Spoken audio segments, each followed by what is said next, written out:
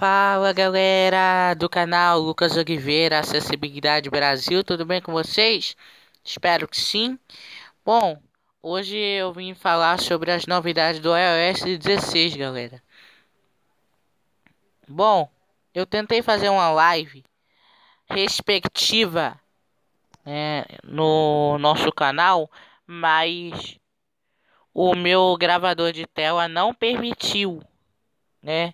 Deu uma deu uma travada braba, não sei o porquê. Certo? Então vamos nós aqui sem mais delongas.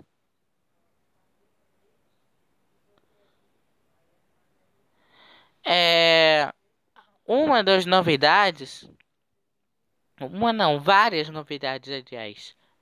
Mas eu quero colocar as novidades em destaque aqui no vídeo de hoje. É a implementação das vozes Eloquence e Fernanda.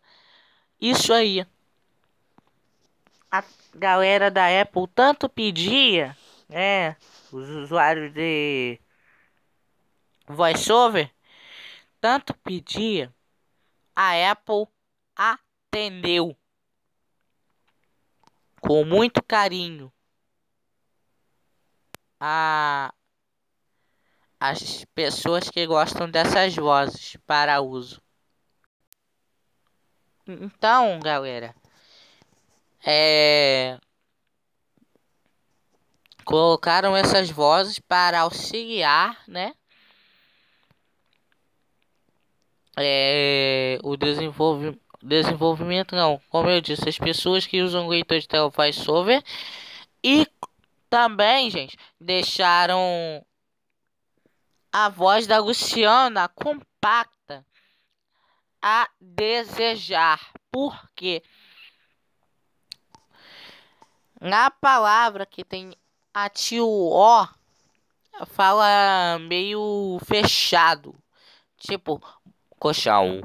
É, colchão. Colchão. É mais ou menos assim, né? Ou botão, modo de edição. Ou seja, tá fechando mais. Coisa que antigamente não tinha. Agora tem. E na versão aprimorada,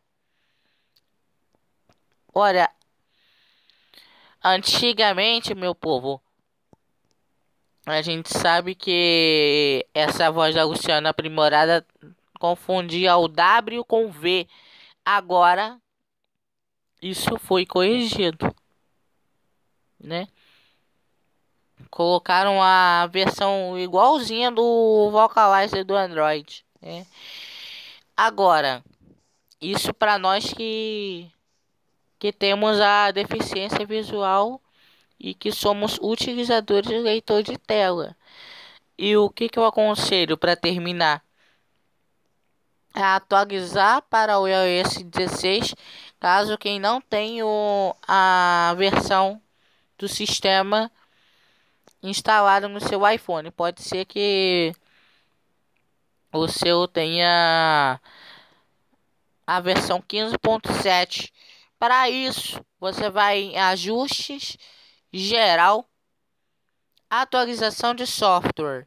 Beleza? Vai ter a opção de você atualizar para o iOS 16.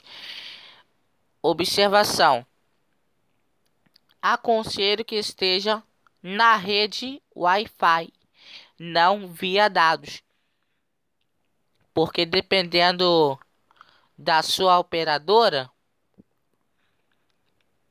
pode resultar em cobranças adicionais e você pode acabar ficando sem internet, né? Porque a, uma versão de sistema pesa muito, porque na versão né, versão banda de base que se chama, é, tem várias compilações integradas. tá certo? Então sempre esteja no Wi-Fi e desde que você tenha colocado o seu celular para carregar, né? E outra coisa, se estiver no 50%, continua na carga, beleza? Agora, se estiver no 100, ou até perto do ou até perto dos 100 como 80, 70, 90 aquela coisa toda, pode manter fora da carga, OK? Então é isso. Espero revê-los em uma outra oportunidade. Grande abraço. Tchau, tchau.